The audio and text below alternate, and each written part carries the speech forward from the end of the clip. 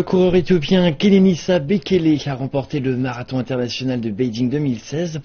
Il a terminé l'épreuve en 2 h 11 minutes. Environ 30 000 personnes avaient pris part à la course ce samedi. Le départ de l'épreuve de plus de 42 km a été donné à la place Tiananmen et l'arrivée a eu lieu au stade national de Beijing. Le trajet a permis aux athlètes d'évoluer autour de lieux historiques et culturels les plus importants de la capitale chinoise.